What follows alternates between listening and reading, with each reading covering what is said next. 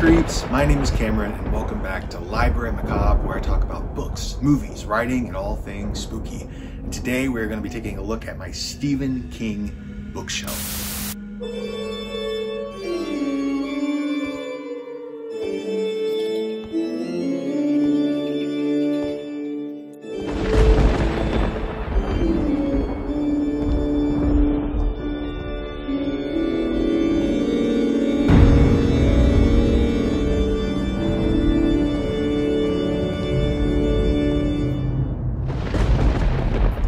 So you'll have to forgive me if this video is a bit shaky. I am on a ladder in order to reach this top shelf, and I have my camera on a selfie stick, so that way it makes it a little easier to control.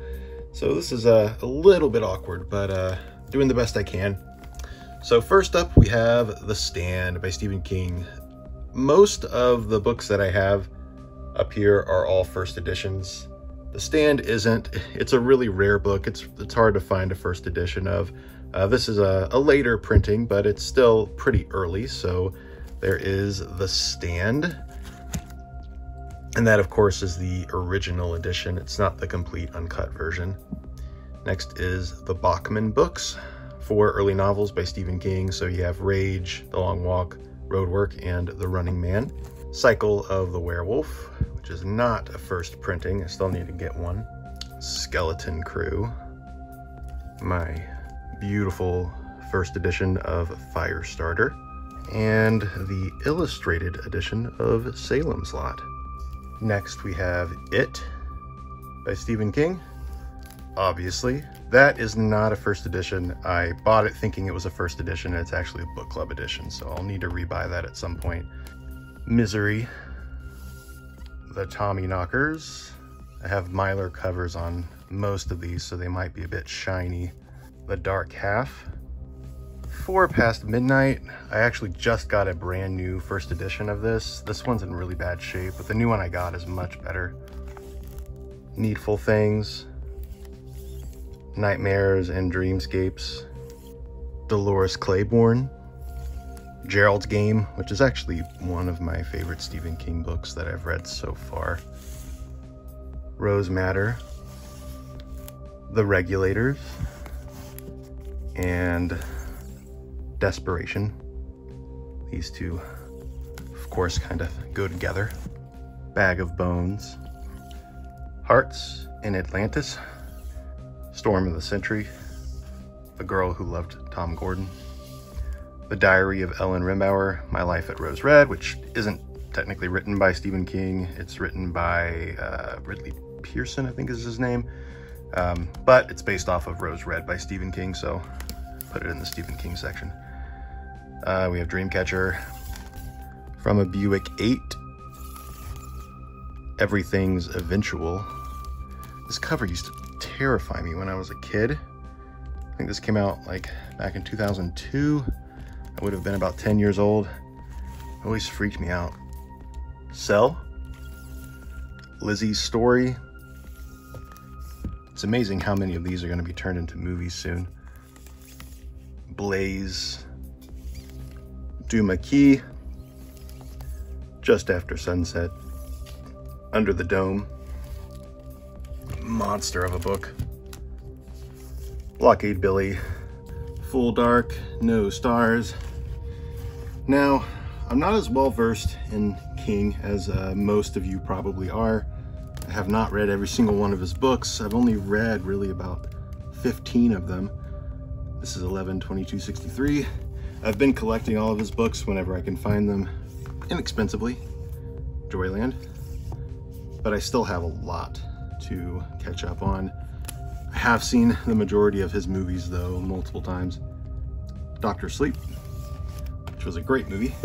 Um, hopefully this year I can actually start catching up and reading a lot of these. Mr. Mercedes. Me saying that probably makes some of you cringe, I can imagine. Finders Keepers. End of Watch. I'm in the corner now, so it's a little bit difficult to get to these. Revival. I read Revival. I didn't care for that one too much. Bazaar of Bad Dreams, Sleeping Beauties. It's funny, when I was a kid, I would go to the used bookstore and buy Stephen King paperbacks all the time, but I wasn't allowed to read them. My mom didn't want me to read them until I was 18. I spent a lot of time collecting Stephen King and wishing I could read his books, and once I did turn old enough to read his books, I was so behind, I was overwhelmed. Gwendy's Button Box, The Institute, which is the UK edition. Got that as a gift from a friend. Dark Tower 4, Wizard and Glass. I've read the first three Dark Tower books. Wind Through the Keyhole, which is 4.5 of the Dark Tower series. And then I'm not gonna pull out all these because they're tucked back there. So uh, we have the Barnes & Noble leather-bound edition of The Stand, the complete uncut version, and books five, six, and seven of The Dark Tower. And then over here, uh, these are like my Anne Rice books, um, but down here I do have a Stephen King magazine, The Complete Guide to Stephen King. And now we're gonna go right down here. These are uh, all of my horror paperbacks. I have a whole wall of them. Um, but these right here are all of my Stephen King paperbacks, most of which I've had since I was a kid. So we have, of course, Carrie, Salem's Lot, the complete uncut version of The Stand, and we're gonna come right on down here. We've got The Shining, which I have read, by the way. I've read The Shining.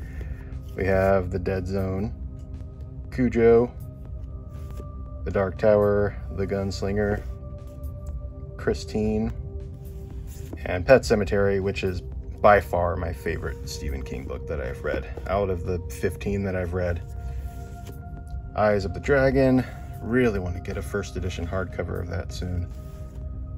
Thinner, The Talisman, co-written with Peter Straub, a very creased up copy of Drawing of Three. I've had this since I was a kid. The Wastelands, Dark Tower 3, and then we have the serialized little versions of The Green Mile, though I would really like to get a hardcover that binds all of these up. So we have The Two Dead Girls, Part 1, Part 2, The Mouse on the Mile, Part 3, Coffey's Hands, Part 4, the Bad Death of Edward Delacroix, Part 5, Night Journey, and Part 6, Coffey on the Mile. Now, that isn't all of my Stephen King. I do have a copy of On Writing, which I keep sandwiched between Anne Rice, Diary of a Young Girl, and Jesus Calling, which was a gift from my mom. um, this is my nonfiction shelf. Um, there's books about books there, books about writing. So I just stuck on writing right there. And also coming down to my comic book graphic novel section, we have The Talisman, volume one, which is the graphic novel version. I, I actually don't think they did any more of those. I think there's only one volume. And coming on down here, we also have, it's hard to get to, here we go, Creepshow, which is one of my favorite movies of all time. And that, my friends, is my Stephen King collection. Hey creeps, thank you all so much for watching this video. If you enjoyed it, I do have a few more parts of my horror bookshelf tour, so if you're into more than just Stephen King, you might like to take a look at some of my other horror books. And if you would like to go even bigger, I do have an entire library tour here on my channel, so I will leave the links down below in the graveyard. Thank you all so much for watching, and I'll catch you in the next episode of Library Macabre. Later, creeps.